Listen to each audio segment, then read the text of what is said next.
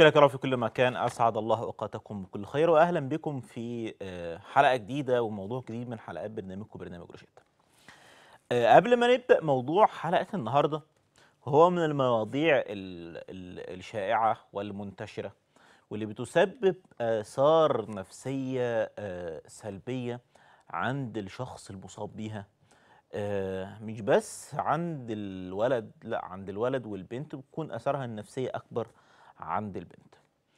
آه، مرض البهاق وهو من الأمراض المنتشرة اللي تأثيرها النفسي أكبر بكتير جدا من تأثيرها العضوي ونسبة التنمر ونسبة الآلام النفسية اللي بيحصدها هذا الشخص بتقلل ثقته بنفسه وثقته في التعامل مع الآخرين وقدرته على التواصل مع الناس وفي بعض الأحيان كرهه لإنه ينزل الشارع أو يتعامل مع الآخرين. موضوع من أكثر المواضيع الشائعة هنناقشه في حلقة اليوم من حلقات برنامج روشيتا. لكن قبل ما ندخل في تفاصيل هذا المرض وكيف نتعامل معه وكيف نعالجه وهل له علاج أصلا ولا لأ؟ وهل هو آه، له عوامل وراثية أم عوامل طبية؟ عندنا بعض الأخبار اللي دايما أقول إنه مصر صاحبة الريادة في كل المحافل والمناسبات بشكل عام. وإنه آه، سلامة مصر وصحة مصر وقيادة مصر طول ما هي آه، موجودة وبصحة وبسلامة وبعافية. فأنا بقول لكم إنه مصر هي القادرة وهي المسيطرة وهي المهيمنة وهي الميزان اللي أنت تقدر من خلاله آه، تظبط موازين كتيره قوي. دايما أقول إنه مصر أم الدنيا مش كلام إحنا بنقوله وخلاص. ده بيظهر في تصرفات مصر بيظهر في مواقف مصر مع كل الدول العربية الشقيقة في كل مواقفها. فكرة نشجب وندين وبعض التصريحات هذه أيضا يعني أمور جيدة ولها صدى وخاصة إذا خرجت من مصر. لكن لما يكون في الفترة الأخيرة آه، في آه، ضرب الكيان الصهيوني المحتل الغاشم لفلسطين بهذا ال- ب- يعني بهذه القوة الغاشمة آه، التي لا داعي لها غير فكرة الصهينة عايزين يصهينوا آه، كل شبر في فلسطين آه، المحتلة اللي إن شاء الله بإذن الله هيبقى هيجي يوم من الأيام وتعود فلسطين لأصحاب الأرض ويظل الكيان الصهيوني مع كل المصاريف وكل الأموال اللي بتصرف المصاريف الباهظة. عشان الناس تحب فل... تحب الإسرائيليين أو تتعاطف معاهم آه، في أي لحظة تمس كرامة وسلامة الشعب الفلسطيني أو الشعوب العربية نجد آه، تحالف قوي جدا من الشعوب تجاه القضية الفلسطينية اللي هي بتلمس قلب كل واحد مصري بتلمس قلب كل واحد عربي. كل واحد فينا بيجري في دمه آه، العروبة بيجري أيضا في دمه فلسطين. والقدس المحتل وطول الوقت في آه، يعني قدام عينينا كده عارفين أن إسرائيل كيان صهيوني مغتصب للأرض يقتل النساء والأطفال لا عهد له ولا دين له ولا معاهدات ولا أي شيء هو كيان يهودي صهيوني يتعامل بكل جبروت مع شعب أعزل لا يمتلك السلاح. إن شاء الله عن قريب بإذن الله بإذن الله نتمنى أنه آه، مش بس تحل الأزمة الفلسطينية ويتوقف إضراب آه، آه، ضرب النار أو إطلاق الصواريخ أو الغارات الإسرائيلية على قطاع غزة مش بس كده إن شاء الله ال- الكيان الصهيوني آه، بشكل يجعل كل عربي فخور ببلده. مصر في الفترة الأخيرة هيئة الإسعاف المصرية عملت شيء جيد جدا وهي إن هي سخرت كل الإمكانيات لاستقبال مصابي فلسطين بتوجيهات من السيد الرئيس عبد الفتاح السيسي ودي سابقة ما كانتش بتحصل قبل كده كتير ولكن آه، حدوثها في التوقيت ده هي رسالة من آه، الرئيس المصري ومن الشعب المصري إنه سنقف دائما بجوار أهلنا في غزة. إنه ما يمسهم من ألم يمس كل واحد مصري وكل واحد عربي. ومش بس كده توجيه شديد اللهجة للإسرائيليين إنه العربات الإسعاف المصرية اللي هتدخل غزة أو اللي دخلت غزة آه تعامل معاملة ال- العربيات الحربية للجيش المصري. وأي اعتداء عليها يعتبر بمثابة اعتداء على الجيش المصري وده رسالة فيها من القوة ومن الشموخ من قوة وشموخ الشعب المصري لإسرائيل إنه إياكم إن أنتوا تقربوا من أي حاجة اصله صاروخ اتضرب بالغلط ما اتضربش بالغلط الكلام ده كله لن يقبل ابدا. وزارة الصحة المصرية كمان أعلنت عن 165 سيارة إسعاف مجهزة لدعم فل... آه، مصابي فلسطين تنفيذا لتكليفات السيد الرئيس عبد الفتاح السيسي. كمان عايز أقول لكم آه، بعض الأخبار عن فيروس كورونا. إنه تم تسجيل 1201 إصابة بفيروس كورونا و58 حالة وفاة وخروج 901 شخص متعافي من فيروس كورونا. إمبارح كنت بتكلم مع آه، الدكتور سمير عنتر وهو مدير مستشفيات امبابه الحميات سابقا وقلنا إنه ارتفاع نسبة الإصابة اللي إحنا شايفينها مرتفعة هي آه، تكاد تكون آه، آه، نسبة مش كبيرة والمهم نسبة الوفيات بتقل واحدة واحدة وإن في خلال الاسبوعين ثلاثة القادمين إن شاء الله بإذن الله تقل curve الوفيات بشكل كبير جدا كمان يقل curve الوفيات. مواكبا للتغيرات اللي بتحصل في الإصابة بفيروس كورونا إحنا عندنا ال- الحكومة خصصت من صندوق تحيا مصر اللي كان في ناس كتيرة بتتكلم عنه قبل كده إنه صندوق تحيا مصر سيتولى جميع المساهمات المختلفة لشراء لقاحات فيروس كورونا أو كوفيد 19 وزارة الصحة المصرية قالت إنه تم وصول واحد وتسعة مليون جرعة لقاح من آه، كوفاكس وده لقاح فيروس كورونا ومليوني جرعة من لقاح سينوفاك وده اللقاح اللي بي بيساعد وبيساهم في تقليل ال- الخطر الإصابة بفيروس كورونا. وبؤكد هنا ال- اللقاح موجود في أكتر من مكان في جمهورية مصر العربية. تقدر تسجل اسمك أو بياناتك على ال links المختلفة سواء للمحافظات أو على مستوى الجمهورية. في أولويات لأصحاب الأمراض المزمنة العاملين بالمجال الطبي ودلوقتي بدأ آه، في أكتر من مكان الناس كلها بدأت تحصل على هذا اللقاح للحد من خطر الإصابة بفيروس كورونا أو من مضاعفات هذا الفيروس. آه، الحكومة آه، المصرية بالتنسيق مع المسؤولين لتصنيع لقاح فيروس كورونا إن شاء الله بإذن الله في مصر هيتم في الفترة المقبلة تصنيع هذا الفيروس. وكنا قلنا إنه آه، المصل واللقاح إن شاء الله بإذن الله هتنتج أكتر من 2 مليون آه، مصل لفيروس كورونا في الأيام المقبلة. مصر كانت من أوائل الدول اللي كانت بادرت في آه، آه، آه، يعني توظيف عدد كبير جدا من الباحثين والعلماء للبحث عن أمصال لفيروس كورونا ونشر هذه الأبحاث وهذه الوثائق العلمية والأبحاث العلمية وال papers في آه، أكتر من مكان عشان تظل مصر هي آه، أم الدنيا تظل مصر هي القائدة والريادة في آه، ظل في ظل الأزمات اللي بتمر بيها أي دولة أو أي دولة عربية على وجه الخصوص. بؤكد فيه آه، إنه دعمنا كل الدعم من مصر لأهلنا في غزة.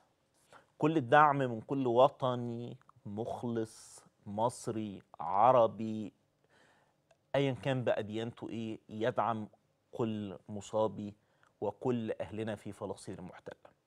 ذنب كل الأطفال اللي تم قتلهم والأمهات اللي أولادهم استشهدوا والزوجات اللي ترملوا وأزواجهم استشهدوا وذنب كل حد هو آه، ذنب للمجتمع ال- الدولي اللي بيقف آه، في موقف لا فيه حياد ولا فيه ديمقراطية ولا فيه معاهدات سلام ولا في أي شيء ليثبت للعالم إنه كل هذه أقاويل وكل هذه مصطلحات أنا آه، آه، أرى من وجهة نظري إن هي مجرد كلمات وتفعل إسرائيل كل آه، ما يحلو لها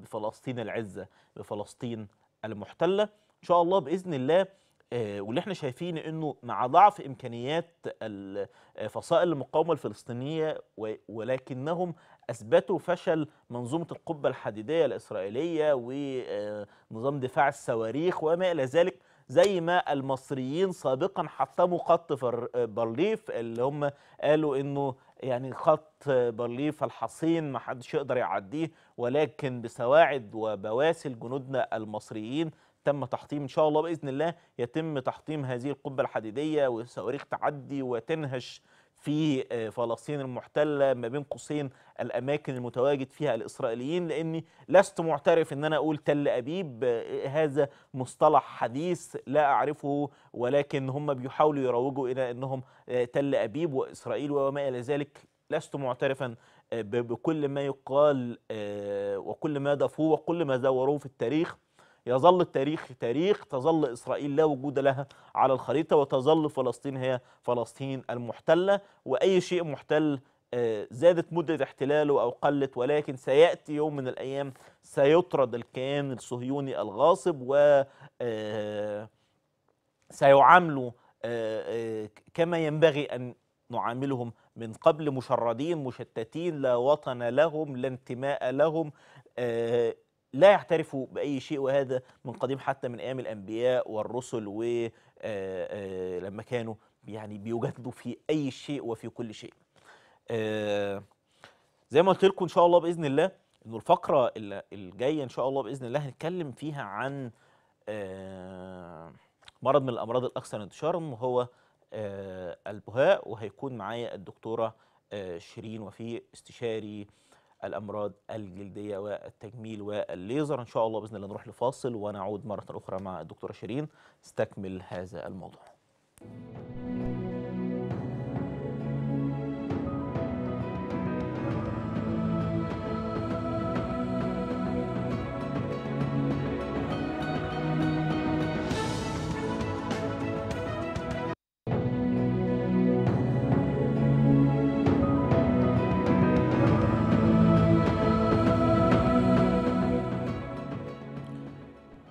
ورجعنا لكم مرة تانية ومكملين معاكم في آه، برنامجكم برنامج روشيت زي ما قلت لكم إن إحنا هنتكلم النهارده عن البهاء وهو من الأمراض الجلدية الأكثر انتشارا اللي بتؤثر تأثير مش بس نفسي تأثير نفسي شديد جدا على الشخص المصاب بهذا المرض لأنه في بعض الأحيان ما بيكونش عندنا الثقافة وكيف نتعامل مع هذا المرض من البداية وبالتالي في بعض الأحيان ال- نقص الثقافة أو التوعية أو الوعي بهذا المرض بيعمل بعض المشاكل النفسية والعضوية لدى الشخص. النهارده هيكون معايا دكتورة شيرين وفي استشاري الجلدية والتجميل والليزر بمستشفى الحوض المرصود. دكتورة شيرين أهلا بيكي. أهلا بحضرتك منورني. ميرسي كل سنة. وحضرتك طيب. وحضرتك طيب النهارده بنتكلم عن البهاق. وهو من الأمراض زي ما قلنا اللي بتؤثر تأثير نفسي سلبي.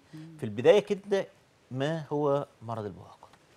آه، مرض البهاء آه، ده مرض بيبقى مناعي بيبقى فيه في خلل في جهاز المناعة آه، هو إحنا عارفين إن جهاز المناعة دايما بيهاجم الميكروبات والبكتيريا وكده هو بيحصل فيه خلل هو بيهاجم الخلايا الصبغية بتاعة الجلد. في أماكن معينة ممكن في أماكن صغيرة أو أماكن متفرقة من الجسم آه، بس هو يعتبر خلل في جهاز المناعة كويس. بيظهر على المريض في صورة بقع بيضاء يعني أحيانا بتظهر في إيده تظهر آه، في, في رقبته. تظهر في آه. وشه تظهر آه في أي مكان في الجسم طيب هل المرض ده له يعني آه، يعني عوامل وراثية ولا هو ممكن ينتقل من شخص إلى آخر؟ يعني إيه هي الأسباب اللي بتصيب بالشخص اللي تخليه يصاب بهذا المرض؟ بص هو حكاية إن هو يبقى وراثة أو كده يعني دي علميا مش مثبتة قوي.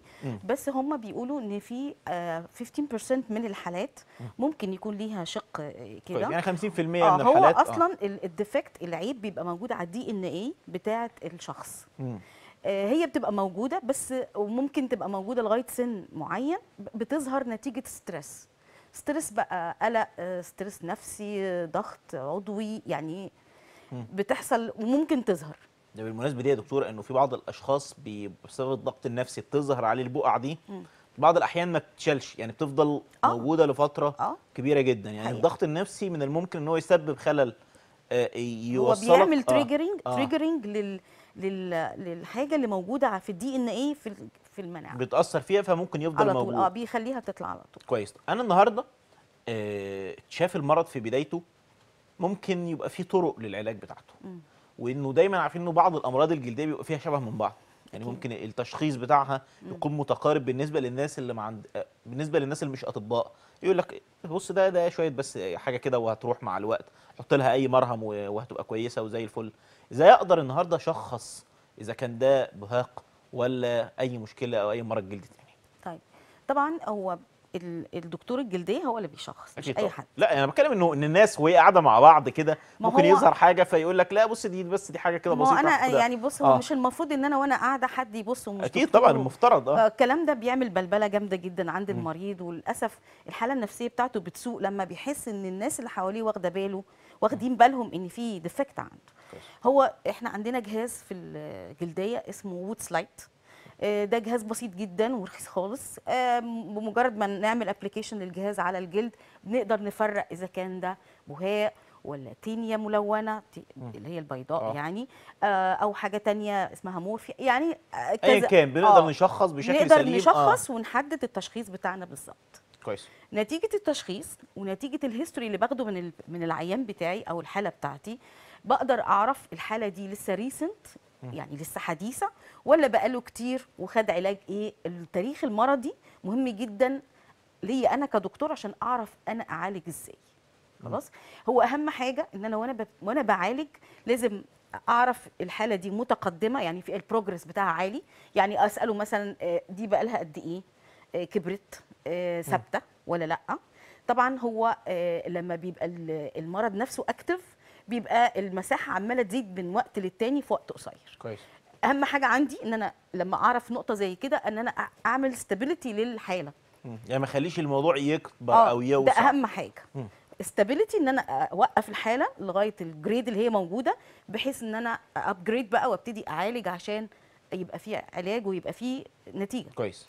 لو الحالة ثابتة بقالها سنين بط- ببقى خلاص ببقى بغير system العلاج خالص يعني عارف التشخيص بتاع العلاج هو اللي بيعمل الدكتور ال plan بتاعته.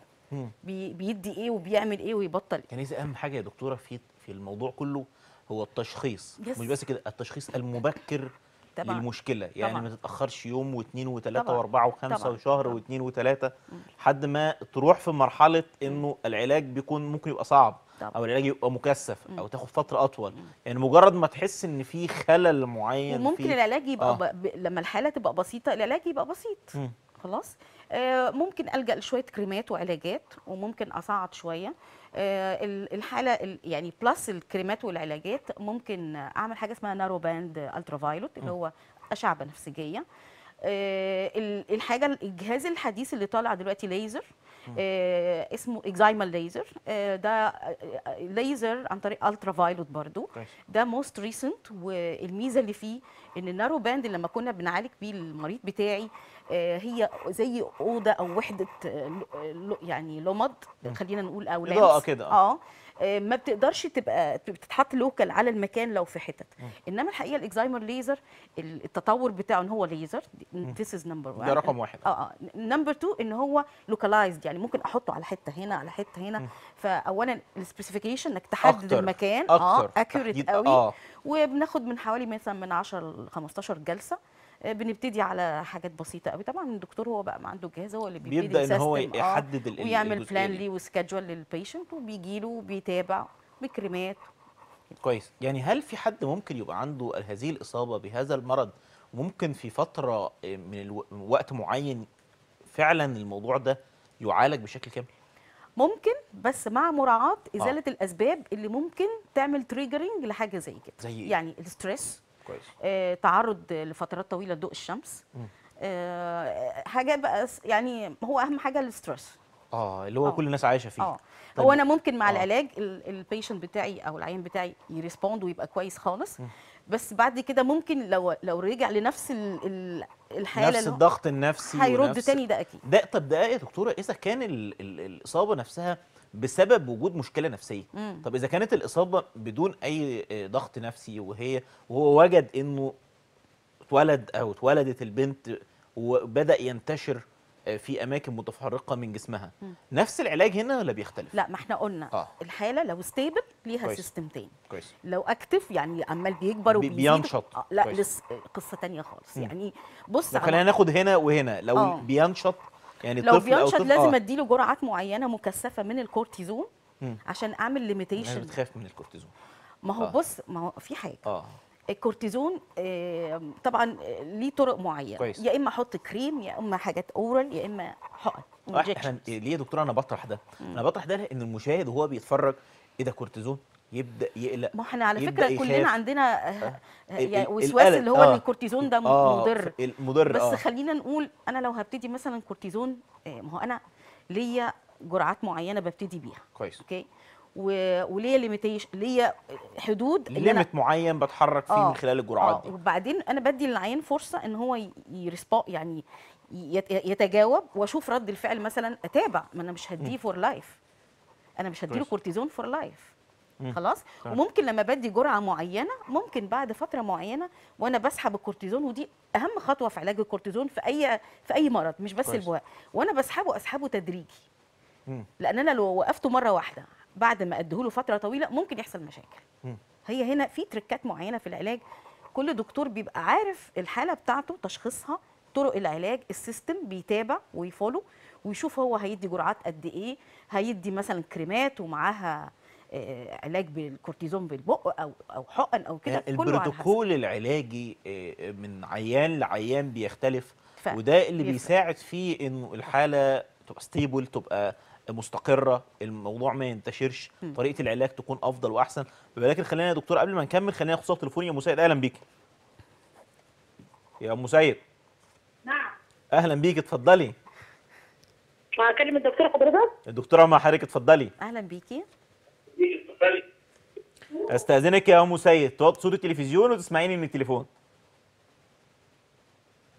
دكتورة أنا باجي في الساعة في الشتاء على طول أحك في دراعاتي وفي ظهري بتطلع لي حبوب. ولما يجي الصيف ب- ممكن تختفي لوحديها يعني. يعني هو في حكة بس مش حكة ومعاها أي طفح؟ آه يا حضرتك حكة. حكة بس. طيب بصي هو ثلاث أرباع الأمراض الجلدية بيبقى مصحوبة يا إما بحكة سيد معانا؟ okay. بس. آه إيه حضرتك في في حكة من غير أي طفح أو من غير أي مشاكل في الجلد تاني صح كده؟ أيوه هو قصدي مثلا عندي شعور إن أنا أحك لي حبوب دايما وأنا عندي 42 سنة يعني سني مش صغير. بيطلع لها حبوب. حبوب مع الحكة؟ أيوة، في الشتاء في بمجرد ما في شهر 10 و11 أبدأ كده طيب بصي هو آه طب هو عندك استفسار تاني يا مسيد ولا لأ؟ عندي بنتي برضو حبوب جامدة في وشها. جامدة ويعني حبوب اللي هي حب شباب يعني ولا حبوب إيه؟ أيوه عندها 19 سنة. حب شباب أكيد. حبيبي طيب شباب. خلينا نتكلم عن أي حضرتك استفسار تاني يا مسيد نعم. أي استفسار تاني؟ الله يخليك شكرا. شكرا طيب، جدا. لاتصالك يا مسيد اتفضل اسمعيني كويس. آه آه، في ناس كتيرة قوي عندهم حاجة اسمها آه إكزيما. خلاص. آه. الاكزيما بتيجي من الجفاف في الشتاء. و... والناس دي أصلا بيبقى عندها من وهي صغيرة history وهي صغيرة آه، بيبقى عندهم حاجة اسمها atopic dermatitis اللي هو تحسس. خلاص؟ تأتبي. كويس. هي بتبقى عارفة. هي بيبقى هي بتبقى عارفة من وهي في شهر صغيرة كذا وشهر كذا هي يعني هي متابعة. أي 10 و11 آه، عارفة وهي صغيرة كان عندها ال atopic dermatitis دي. بتبقى موجودة في الأطفال وخصوصا اللي بيرضعوا بيبقى على الوش وبيبقى في الثنيات كويس. خلاص؟ وبتبقى أكتر بتزيد في الشتاء. كويس. لما مع, الكبر في السن بتتحول لاكزيما. برضو بتزيد في الشتاء. كويس. الحل إيه؟ اولا نشرب مية كتير على كويس. قد ما نقدر. نحط مرطبات آه، وممكن ناخد مرطبات تحتوي على مادة فعالة ممكن آه، تبقى إيه عشان آه، بس تجيبها من الصيدلية؟ آه، مش عايزة أقول مادة فعالة مش اسم دواء. آه. مادة فعالة ممكن إيه؟ المواد الفعالة ممكن اللي اللي تجيبها لو متاح أو هي ممكن تسيب لنا رقم تليفونها وإحنا طيب هي المادة أنا مش هقول اسمها آه. حاجة بتحسن ال barrier بتاع الجلد. كويس. okay. فلما في مادة معينة بتنقص في الجلد في الناس اللي عندهم إكزيما أو atopic dermatitis في كريمات معينة بتعوض المادة دي وبتعمل زي طبقة تغلف الجلد تديله نداوة وفي نفس الوقت آه، تشرب مية كتير عشان ما تتعرضش للجفاف وتضطر من الجفاف تهرش. كويس. ده ده- في شهر 10 و11 اللي هي بتشعر آه اللي هي دخلت. الشتاء بقى إن هي. ما بنشربش مية كتير و... و... وكده يعني. طيب بنتها 19 سنة طيب. عندها حب شباب كتير وده تقريبا معظم السن اللي في السن ده بيبقى حب الشباب منتشر طيب خلينا. نقول 19 سنة دايما بيبقى في الفترة دي في حاجة اسمها hormonal imbalance فترة الهرمونات مش stable في ناس بشرتها بتبقى دهنية و capable إن مع البشرة الدهنية يحصل لها حب شباب. كويس. طيب نعمل إيه؟ واحد نروح للدكتور. دي أول حاجة. لازم. يعني ده أول آه طريق. خلي بالك أنا عندي history إن مامتها فيها مشكلة في جلدها. آه. فأنا لما يكون عندي طفل كده أو حد كده من ال teenage اللي هو السن ال- ده آه. أروح بيه الدكتور على طول عشان أنا ما اضطرش أسكت وبعد ما أسكت يبقى مع الحبوب في ندبات وهيبقى العلاج بقى وعلاج يبقى بالليزر بقى وليزر هخش في dilemma أنا مش قدها. لا ماديا ولا معنويا. كويس. لأن- لأن بتاخد وقت طويل وم- ومكلفة كمان. آه والبنات كمان خصوصا البنات. والله والولاد كمان في السن ده بيبقوا مكسوفين أنا وشهم جدا إن وشهم فيه حبوب. فإحنا كل ما نبتدي early يعني آه، بدري كل ما يكون أحسن ما يسيبليش ندبات وفي نفس الوقت آه، أحاسب. طبعا مع في السن ده بلاش بقى الدهنيات الكتير والمقليات وال ال fast food والوجبات السريعة وال... وال... السوداني والمكسرات والشطة والحادق والبيبسي والشوكليت وال junk food اللي هم الكنتاكي وال... والح- الحاجات والحاجات اللي هي آه، اللي هي المقليات والدهون. اللي هي فيها حاجات دهون كل مشبعه ده آه، بشكل كل ده بيزود لي الدهون بتاعة آه. البشرة وأنا أصلا بشرتي دهنية لأن غالبا هي بشرتها دهنية. كويس. طيب خلينا ناخد ف- صوت تليفوني. أستاذ أسامة أهلا بيك. أهلا بيك اتفضل. لو. سمحت. اتفضل. أهلا بيك. أنا لو سمحت أنا اتكلم الدكتوره عندي أمراض جلدية. okay اتفضل. اتفضل مع حضرتك الدكتورة اتفضل. لو سمحت يا دكتورة أنا عندي أمراض جلدية في ظهري و... ورجلي. إيه هي الأمراض الجلدية اللي موجودة عند حضرتك؟ اللي عند حضرتي آه، وأنا صغير كان بيطلع حبوب كده بتعبي ميه وبتصفي لوحديها وبيحصل مكانها آثار كده لغاية دلوقتي وبتزيد. في ظهرك بس ولا. في ظهرك وفي وشك؟ في ظهري وفي رجلي. okay. طيب بص بعد إذنك إحنا لازم نتوجه للطبيب ونعمل فحوصات. أنت عملت أي فحص؟ آه، طيب يا أستاذ لازم. أسامة كشفت حد قال لك ده ممكن يبقى إيه؟ دي قالوا لي أمراض جلدية بس الدم. أمراض جلدية لازم إيه؟ نعمل تحاليل. كويس. أمراض جلدية قالوا لي بس الدم. الدم يعني في الدم فيها مشكلة. okay. إحنا لازم بعد إذنك لازم نروح لدكتور متخصص هيطلب منك تحاليل معينة وهيتابع مع حضرتك عشان يقدر يشخص. لكن أنا عشان أشخص كده وحضرتك يعني كده لا صعب لازم تحاليل طيب آه، أستاذ أسامة استأذن حضرتك بس تسيب لنا رقمك وإحنا نتواصل معاك بعد الحلقة ونشوف ممكن نساعد حضرتك إزاي في ال- الفحوصات اللي أنت ممكن تعملها لعلاج هذه المشكلة. شكرا لاتصالك يا أستاذ أسامة. نرجع مرة تانية. كنا بنتكلم عن آه، الطريقة من طرق العلاجات بالكورتيزون للناس اللي عندها مشاكل وبينشط آه، فيها تمام. البهاق. بس خليني قبل ما أروح للجزئية دي آه، أنا شايف إنه بعض الناس وهروح لحتة نفسية شوية.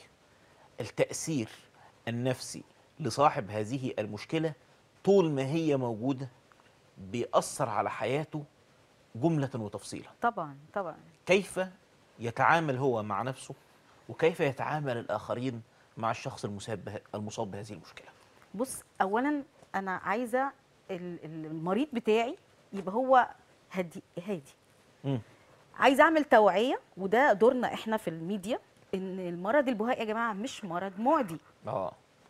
مش مرض مخيف. ما هو عارف هو مشكلته إيه؟ اللون بس اللي بيسيبه. غير كده هو معهوش أي امراض أي حاجة. ما عندوش أمراض عضوية من جوه. فهو حاجة very si يعني ما فيش هو لون بس. لازم الشعب يعني لازم الناس يبقى عندها توعية زي حد شعره أسود وشعره أبيض يعني نفس عادي الفكرة. جدا. لازم تفهم إن هو مش مش يعني ما ما تعاملوش معاملة ان مريض ال- البهاق بيبقى very sensitive حساس جدا جدا أول ما. بي مثلا لو الإصابة في حتة آه، معروفة أو آه في موجودة إيديه في- أو في وشه مش عايزة أقول لك كمية الاكتئاب اللي بتبقى عنده آه، ومش عايز يتصور مش عايز حد يشوفه وفي بنات كتير قوي يعني ما بت- ما بترضاش تتجوز لا هم حتى كمان لو هم عايزين يتجوزوا الأسرة اللي بتيجي تتقدم للبنت للأسف. آه رد فعلها ممكن رد يعمل فعلها مشكلة. ممكن آه. يضايقها أكتر آه. ممكن يقول والله هي بنت كويسة كل حاجة بس يعني لا ما يعني آه وعايزة أقول نقطة خايف هو يطلع مش آه، هو مش إيه. معدي ومش وراثي. يعني مم. حتى اللي عايز يجي يتجوز ما يخافش. يعني مش معدي لا ومش وراثي. ومش وراثي. لا مش وراثي. فاهم؟ يعني عادي ممكن يبقى عندها ولكن ممكن تلاقي الأطفال ما عندهمش بعد كده. لا خالص أي مشكلة. طب خلينا ناخد صوت تليفوني أستاذ عصام أهلا بيك. أهلا يا فندم. حضرتك اتفضل. آه، ممكن أسأل الدكتور عن آه، كنت توجهت مرة آه، اكتشفت امراض جلديه عندي فطريات بين الأصابع. أصابع القدمين؟ آه. تمام. فالدكتور قالت لي إن الفطريات دي هتستمر فترة فترة طويلة. مم. وبالتالي ادتني علاج بس العلاج ما جابش أي نتيجة خالص. okay. في سكر يا فندم عند حضرتك؟ لا لا. طيب okay. في أي استفسار تاني يا أستاذ عصام؟ آه حضرتك عندي برضو فروة الرأس فيها تساقط في عند حضرتك. إيه؟ فروة الرأس. في فروة الرأس. آه. تساقط الشعر وفي ألم في فروة الرأس يعني ممكن إن أنا مثلا أضغط على فروة رأسي آه، بحيث إن هي إيه آه، ممكن تتعلم. يعني ممكن أنا لو بضغط بأي حاجة في فروة رأسي بتعلم. فبرضه اكتشفت مرة عند دكتور امراض جلديه فقال لي آه، دي قشرة تحت الجلد. برضه اداني علاج بس ما جابتش أي نتيجة. ما جابش أي نتيجة. okay. ماشي آه. أي استفسار تاني يا أستاذ عصام؟ في أي إصابة فطرية في جسمك غير القدم بس؟ لا الفطريات في القدم بس. okay. أي استفسار تاني يا أستاذ عصام؟ لا شكرا يا فندم. شكرا لاتصالك. الدكتورة شيرين هتجاوب حضرتك. اتفضلي يا دكتور. طيب في ناس بتتوجه للطبيب وبيديها علاج بس ما بتتبعش الطرق العادية السليمة إن أنا ما أخليش الموضوع ده يتفاقم عندي أو أخلي أدي فرصة إن العلاج يجيب نتيجة كويس. يعني هو بيقول لك تنية بين صوابع القدمين كويس. طبعا هو أكيد بيلبس حاجة مقفولة طول اليوم ما بيهويش الرجل خلاص اولا لازم كمان لازم الشراب لازم يبقى قطن الشراب لازم يبقى قطن رياضي اللي هو زي الفوطة مش آه. قطن عادي آه، يعني قطن في رياضي، ناس آه. كتير قوي تيجي تشتري يقول لك ده قطن لا لا لا لا لازم يبقى قطن رياضي زي الفوطة أوكي كويس. لازم يبقى ليا فوطة مخصوص معينة أنشف بيها بعد ما اتوضى أو بعد ما أستحمى وأقعد بعد ما أخلص آه، أي تلامس بمية إن أنا بشويش أفتح صوابع ما بين الصوابع وأنشف كويس. كويس. خلاص؟ كويس. دي حاجات اللي هي ال simple اللي هي تساعده في الحفاظ على بتاعتي آه لازم الحذاء تبقى يعني يعني at least جلد طبيعي يعني م- okay أو فيها تهوية.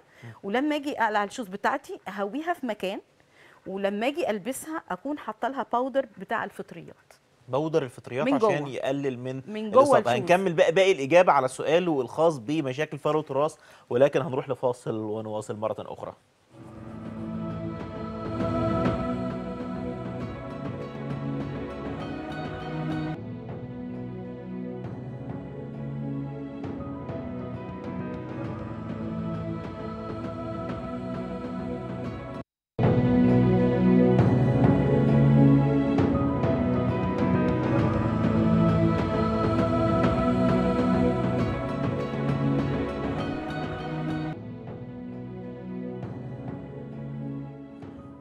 ورجعنا لكم مرة تانية ومكملين معاكم آه، فقرة برنامجكم برنامج جروشيتا. آه، كان قبل الفاصل كان أستاذ عصام كان بيسأل يا دكتور عن آه، إنه عنده قشرة في فروة الراس وفي حكة كمان في فروة الراس. طيب هو آه أنا فاكرة كويس إن هو. قال إن في عنده آه آه، فطريات آه ما بين أصابع في, في من أصابع القدم طيب هو خلينا نربط الاثنين ببعض مم. اولا أنا سألته إذا كان هو في إذا كان سكر, ولا سكر، لأ آه، هو قال. لأ آه. طبعا أنا أنصحه إن هو يعمل تحليل سكر صايم وفاطر أوكي رقم كده قلقتي الأستاذ عصام لأ ما هو أنا هقول لك على حاجة آه. آه. لما يكون عندي إصابة فطرية في عضوين مكانين. آه فأنا لازم في الأول خالص أشوف إيه, إيه ممكن يكون السكر هو بيخلي بيشجع الإصابة بتاعت الفطريات كويس عشان لو- نستبعد لو ما فيش آه سكر طبعا لازم. دي نقطة. النقطة الثانية آه في ناس طبعا ورجالة وستات بتستخدم صبغات للشعر. أيوه. ومع وجود فروه راس آه، حساسة بيحصل إن فروه الراس نفسها بتتهيج وبيحصل نوع من أنواع الحساسية. فلو بيصبغ أو بيستخدم أي حاجة في ناس كمان بتحط جل تعمل بيه styling لشعرها. برضو ممكن تكون المادة بتاعت الجل نفسها irritant وبتعمل تهيج لفروه الرأس. فكل ده نحطه في الاعتبار. okay. كويس. خلينا نقول إن مفيش كل دول وخلينا نقول نقرن إن الاصابه بالفطريات مع قشر فروه الرأس. خلينا نقول يعني most commonly إن هو عنده إصابة فطرية في فروه الرأس. كويس. فهنمشي على آه، شامبوهات ضد القشرة ونوع معين من من المس بنحطه على فروه الرأس وراس حساسية. وبنستخدم ال ال ال العلاج ده لو قلنا شامبو أربع مرات في الأسبوع مش هي once وخلاص. آه. okay؟ أربع مرات في الأسبوع. آه وبحط ال- الرغوة على فروة الراس من ربع ساعة ربع ساعة لتلت ساعة خلاص. وبسيب الرغوة دي وبعدين ببتدي أشطف. ده الكلام ده الشهر الأولاني. كويس. يعني لو قلنا يوم بعد يوم يعني أو أربع في مرات. روتين لشعره آه. الأستاذ عصام هيمشي آه. عليه آه. عشان يتخلص من القشرة اللي موجوده من القشرة فروة آه اللي الراس. موجودة في فروة الراس وبعدين في ناس أنا مش عايزة الشهر الأولاني وبس لا. مم. ده أنا المفروض لأن القشرة بترجع تاني. أيوه. أنا المفروض إن أنا بعد ما بخلص الشهر الأولاني اللي هو ال course ال condensed course ده أبتدي في الشهر الثاني أعمل إيه مثلا؟ أنا بقول أربع مرات في الأسبوع يبقى مرتين في الأسبوع. أيوه. لمدة شهر تاني الشهر الثالث مرة في الأسبوع. بعد كده أغسل مرة كل شهر احتياطيات. كويس. اعقم بقى. المشط بتاعي أو الفرشة بتاعتي. ما خليش حد تاني يستخدمه آه أو يستخدمش لو أنا واحدة ست. التوك الإيشاربات البندانات محدش يستخدم حاجتي. المخدات اللي بنام عليها يعني أعقمها وأغسلها في شمس حامية. okay؟ دي بعض ال- ده اللي هي التعليمات الحاجات الطب. الروتين اللي هو آه، المفترض لو اللي هو أي مع حد العلاج ده مش بس. عصام. أي حد عنده مشكلة في فروة الرأس ممكن طبعا. يمشي آه. على هذا الروتين. yes كنا بنتكلم عن مرض البهاق وتأثيره النفسي على الأشخاص وقلنا آه. إنه غير معدي وفي نفس الوقت ما تخافش لو انت اتجوزت أو انت اتجوزتي حد بيعاني من هذا المرض انه ابنك أو بنتك يكون فيه آه، معرض أو للإصابة. معرض للإصابة ده. تمام. طب هل نقدر نكتشف إنه هل الطفل ده آه، ممكن يبقى هيصاب بهذا المرض بدري ولا لأ؟ يعني لما الطفل يتولد كده بص في في حاجة آه. اسمها دراسات حديثة حاجة. اسمها دي إن إيه بقى ده حاجة بقى لا دي قصة الكروموزوم آه يعني يعني دي آه. بقى اللي هو بس طبعا دي مكلفة دي مكلفة جدا ومحدش آه. بيعملها لكن لا آه. لما بيتولد نقدر نلاحظ هل هو ممكن يبقى عنده هو الإصابة دي هتلاحظ إزاي غير إن هو هيظهر عليه patches بيضه. أو بقع بيضه كويس هتبقى عند عينيه هتبقى في حتة أو يعني كده في ناس بقى في ملحوظة عايزة أقولها للأمهات كلها مم. الأطفال اللي هي بتلبس بامبرز آه قبل ما نتكلم عن الأطفال اللي بتم بر- بتلبس بامبرز. خلينا ناخد أم مصطفى. أهلا بيك يا أم مصطفى. السلام عليكم. وعليكم السلام يا أم مصطفى اتفضلي. الله يخليك. عايز اكلم الدكتورة لو سمحت دكتورة مع حضرتك اتفضلي. أيوه. أنا وشي كده يعني كله أسود كده مش عارفة من إيه يعني. مم. آه. ورحت للدكتور وكان ادتني مرهم وشام وكده وما عملش حاجة أوكي. مرهم تفتيح يعني ولا ما يعني إيه يعني؟ مش فاهمة. كان كانت الم... يعني الدكتور أو الدكتورة اللي رحتي شخص آه. حضرتك إنه ده إيه وإداكي آه، مرهم؟ قالت لي ما تعرضيش لحاجة سخنة وكده يعني للشمس وللفرن مم. أوكي. عمر حضرتك. كام سنة يا أم مصطفى. أنا؟ آه. 65 65 ربنا, ربنا يديك يديك الصحة يا أم مصطفى. ربنا يطول في عمرك. شكرا لاتصالك يا مصطفى وكل سنة وأنت طيبة.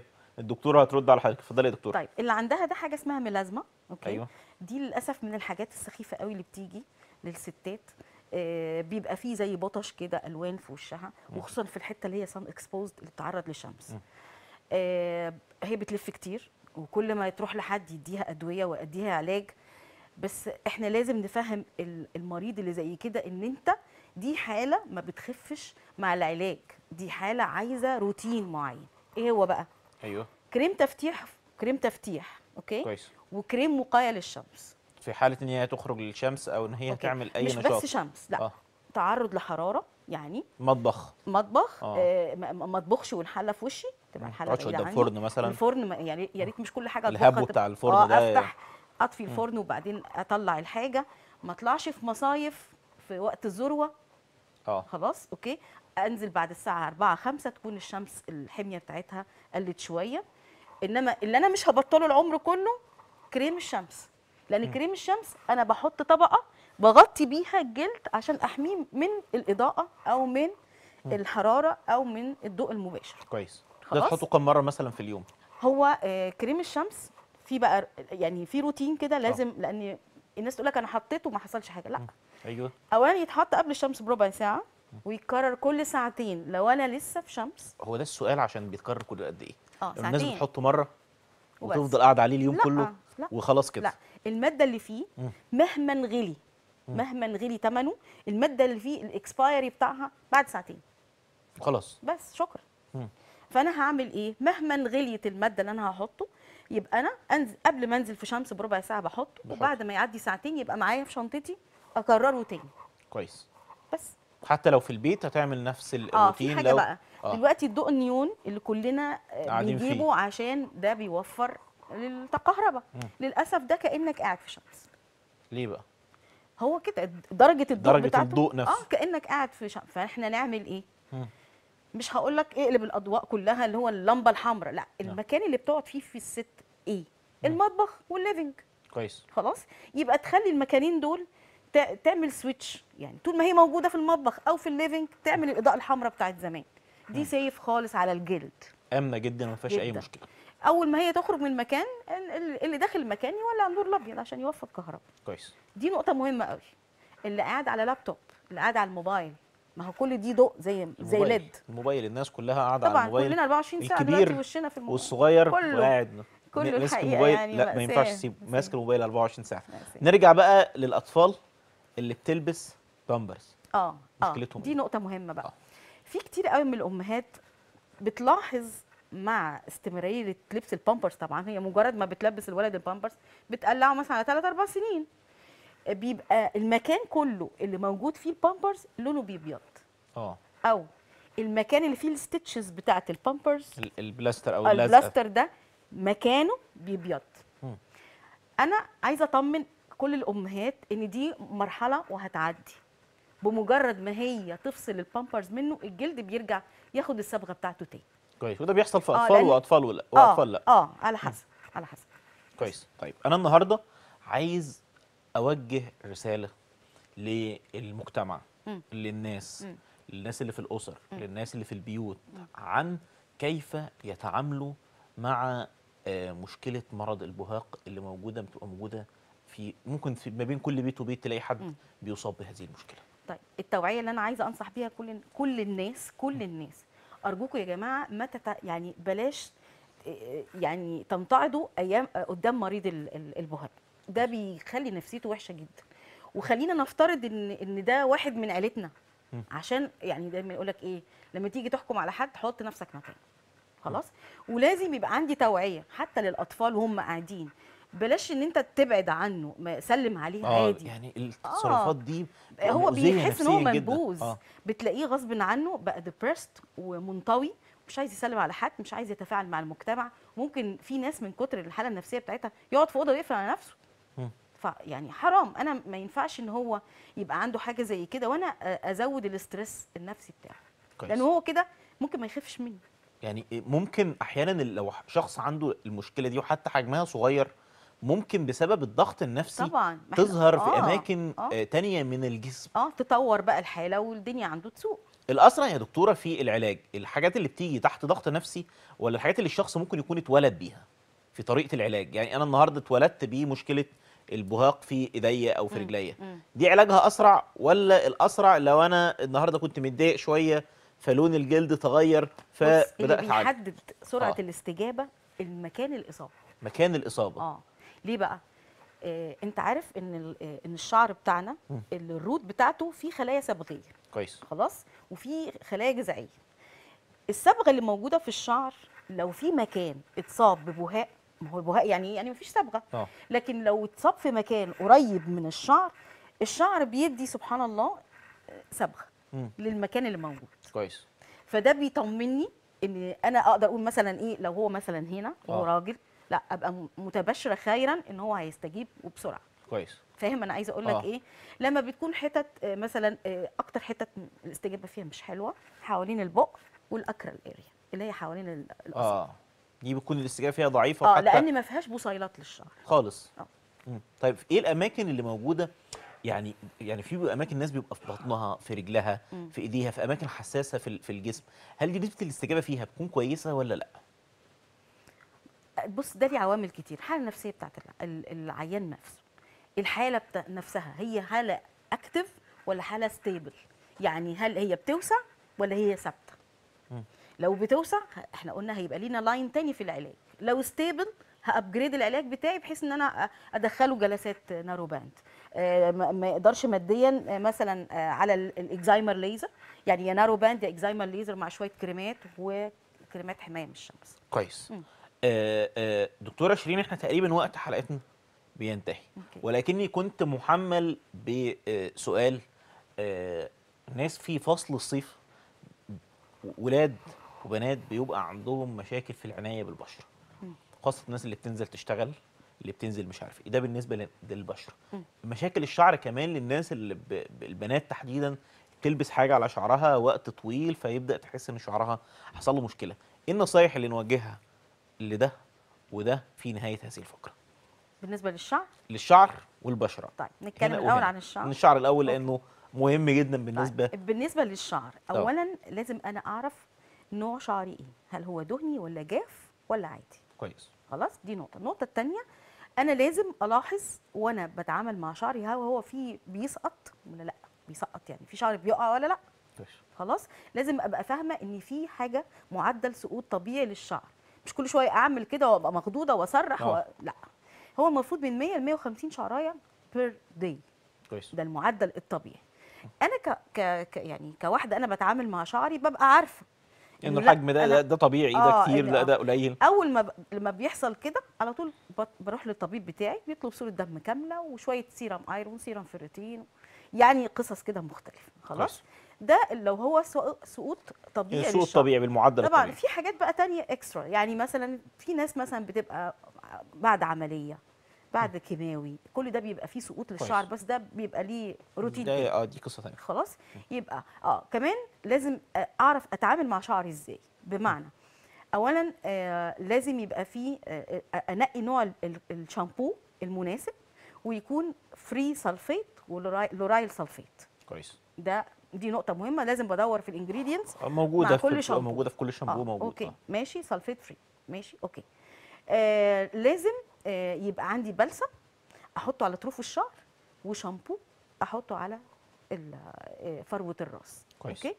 وبعدين لازم اسرح بعد من تحت لفوق تحت ويكون لفوق. الشعر مندي مش مبلول ولا ناشف. كويس. مندي دي بقى حاجات طبيعية قوي. وأنا بسرح أروح بمشط خشب أو فرشة خشب أجيب الشعر سحر قدام الفرشة الخشب دي. طبعا. آه مهم عشان جداً. أنا كده بجري الدورة الدموية. دي كويس. حاجات very simple و very normal للشعر. كويس. ده بالنسبة للشعر. مم. بالنسبة للحفاظ على البشرة في فصل الصيف. اولا لازم يبقى عندي روتين معين. لو أنا بنت يعني أنا هتكلم على الستات آه. لأن الستات دايما بتهتم بالبشره أكتر من. الرجال آه. ولو إن في رجالة يعني بتهتم برضه.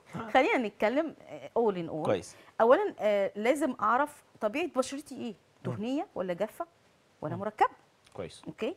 لازم يبقى ليا صابون معين لبشرتي أو cleanser معين على حسب نوع البشرة. كويس. خلاص؟ لو بشرتي فيها بثور أعمل تنظيف بشره كل فترة. لو فيها آه، حب شباب أتوجه للعلاج على طول. خلاص؟ كويس. لازم كريم شمس قبل ما أخرج بربع ساعة وأكرره بعد ساعتين. كويس. ده ال آه، يعني روتين ال daily. لل- بالليل بقى بيبقى فيه حاجة اسمها night cream ال night cream ده بيبقى فيه مواد معينة بتفتح وفي نفس الوقت بتحافظ على ال- ال- البشرة وبتديها نضارة آه وشكلها- وب- يعني وشكلها كويس. بتحافظ عليها من التجاعيد. كويس يبقى ده حاجة simple قوي حاجة بسيطة وروتين سهل الناس لو. التزمت بيها تحافظ على بشرتها بدون أي مشاكل دكتورة شيرين وفيق استشاري الجلدية والتجميل والليزر بمستشفى الحوض المرصود أنا بشكرك شكرا أهلاً جزيلا. لوجودك معانا شكرا حضرتك مشاهدينا الكرام في كل مكان قبل ما أختم حلقة النهارده عايز أقول لكم واللي دايما بأكد عليه وبكرره دايما إنه التشخيص المبكر لأي مرض في الدنيا بيخلي طريقة العلاج بتاعته سهلة وبسيطة وكمان وقتها قليل. التشخيص المتأخر والاعتماد على الاستفسارات والأسئلة واستخدام أدوية آه، يعني في بعض الأحيان عن تجارب الآخرين ما بيكونش أفضل حاجة لأن كل واحد فينا المشكلة لما بيكون عنده أو المرض لما بيكون عنده بيكون مختلف عن الشخص التاني والبروتوكول العلاجي مختلف عن كل شخص والتاني على حسب الإصابة وتفاصيل الشخص وال history health أو التاريخ المرضي لكل شخص. آه، التزموا بفكرة المتابعة الدورية مع الطبيب وخاصة في المشكلات اللي ممكن إن هي تتفاقم أو ان هي ممكن تزيد زي مشاكل الجلدية، مشاكل الأسنان، مشاكل العظم، دي من الحاجات اللي هي التأخير فيها وعدم الاهتمام بيها بشكل دوري بيوديك في حتت أنت في غنى عنها. وفي النهاية برضو هتروح بس أنا مش عايزك تروح وأنت صحتك متدهورة وحالتك مش قادر إن أنت تتحمل أكتر من كده. وده يفكرني في في بعض الحاجات كده كنت بشوفها عند أطباء الجلدية.